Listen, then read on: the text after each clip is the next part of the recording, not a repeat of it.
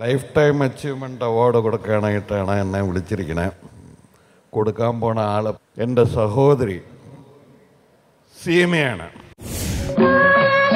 ഇപ്പോൾ നിങ്ങളൊന്നും ഇല്ലല്ലോ. അതുകൊണ്ട് അത്തരം കഥാപാത്രങ്ങളെ ആലോചിക്കുന്നില്ല. ഇങ്ങനെ ഒരിക്കൽ ഈ മുഖത്ത് നോക്കി പറഞ്ഞത് തിരക്കഥയുടെ പെരുന്തച്ഛൻ എം ടി വാസുദേവൻ നായർ. അങ്കലാവണ്യവും അഭിനയശേഷിയും കൊണ്ട് എഴുപതുകളെയും എൺപതുകളെയും സ്വന്തമാക്കിയ നായിക.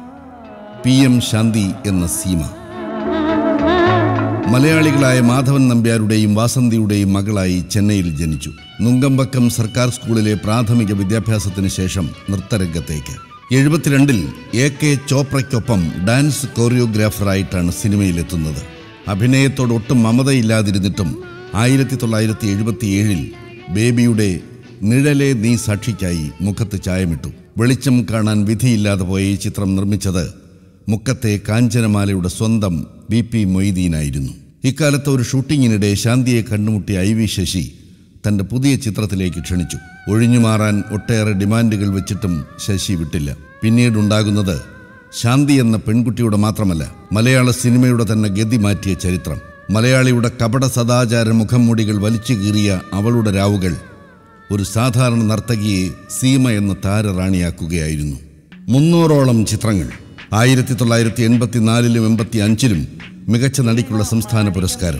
പ്രേം നസീർ മധു സോമൻ സുകുമാരൻ ജയൻ രതീഷ് മമ്മൂട്ടി എന്നിങ്ങനെ മലയാളത്തിലെ ചലച്ചിത്ര വസന്തങ്ങൾക്കൊപ്പം പൂത്തുലഞ്ഞ സീമാതീത സൗരഭം.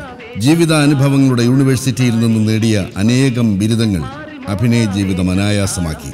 ജീവിതത്തിൽ മേക്കപ്പോ മേക്ക് ഓവറോ അന്നും ഇന്നും ഇഷ്ടമല്ല. സീരിയൽ സെറ്റുകളെ പൊട്ടിച്ചിരികളാൽ സജീവമാക്കി വീട്ടുമുറ്റത്തെ ചെടികളോട് സല്ലപിച്ച് പാട്ട് കേട്ട് സുഹൃത്തുക്കളെ സ്വീകരിച്ചു കഴിയുന്ന സ്നേഹനിധി.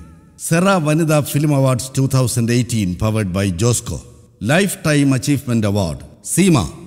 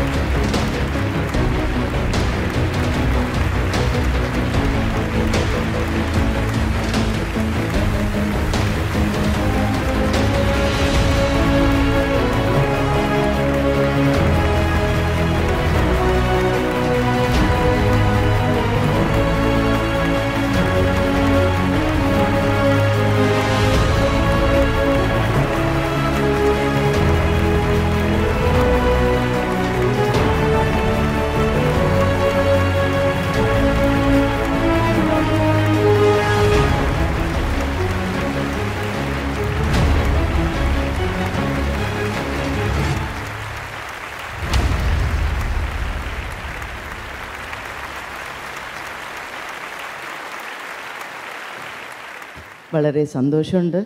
ഈ ഒരു മൂമെന്റിൽ എനിക്കിങ്ങനെ ഒരു അവാർഡ് നൽകിയതിൽ വനിതയ്ക്ക് വളരെ നന്ദിയുണ്ട്. ഇത് ഞാൻ ശശിയേട്ടന് വേണ്ടി ഡെലിക്കേറ്റ് ചെയ്യാണ്. പുള്ളി എവിടെയും പോയിട്ടില്ല. എന്റെ കൂടെ ഉണ്ട് നമ്മളുടെ കൂടെ ഉണ്ട് വളരെ സന്തോഷമുണ്ട്. ഇങ്ങനത്തെ ഒരു മൂമെന്റിൽ ശശിയേട്ടൻ ഇല്ലാത്തത് സങ്കടമുണ്ട്. ഏതായാലും മുകളിൽ നിന്ന് കാണും. ഹാപ്പി. നന്ദി. നമസ്കാരം.